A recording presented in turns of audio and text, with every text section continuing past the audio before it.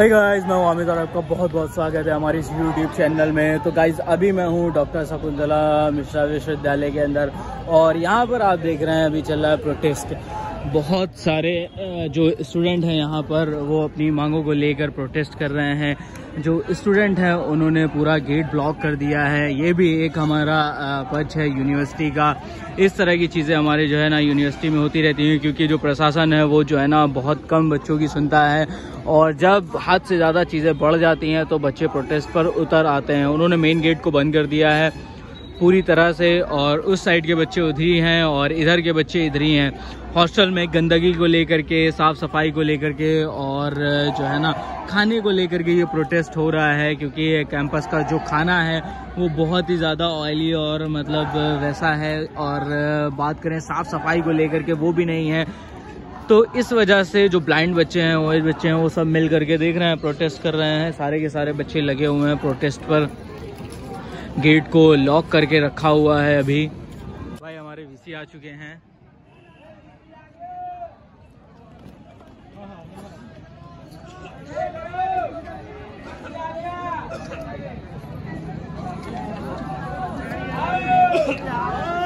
बहुत देर से gate lock है।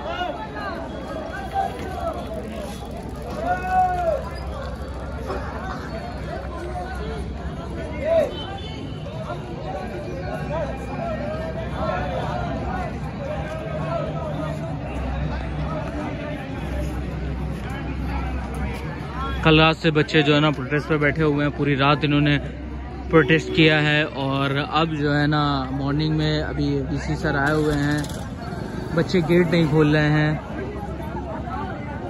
ठीक है। इस तरह की चीज़ें जो है ना आ, होती रहनी चाहिए यूनिवर्सिटीज़ वगैरह में ताकि जो है ना प्रशासन को ये ना लगे कि बस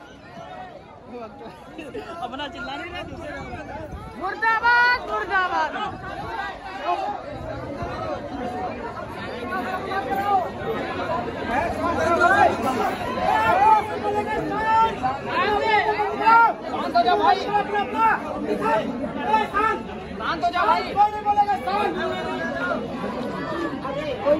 गाइस वीसी को जो है ना यहाँ से गेट से भगा दिया गया है। वाइस चांसलर जो हमारे थे, वो बातें नहीं सुनने को तैयार थे और इस वजह से उनको भी अंदर आने की परमिशन नहीं दी गई है। इसको कहते हैं भाई यूनिवर्सिटी में स्टूडेंट की पावर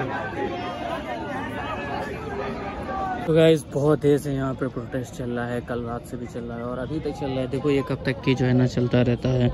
यूनिवर्सिटी का जो गेट है, वो पूरी तरह से बंद है। बाहर उधर के बच्चे उधर ही हैं और जो अंदर के थे हॉस्टल वगैरह के, वो अंदर ही हैं। तो देखते हैं कि वीसी कब तक की सुनता है। अभी तो वीसी सर आए थे और उनको सारे बच्चों ने जो है ना भगा दिया है, वापस कर दिया है, सब वापस चले गए हैं वो। और अभी जो है ना, फिर से जब वो आएँगे तब जो है ना उसके ऊपर फिर देखते हैं कि क्या बातचीत होती है। तो चलिए आगे का अपडेट भी आपके साथ मैं शेयर करता रहूँगा।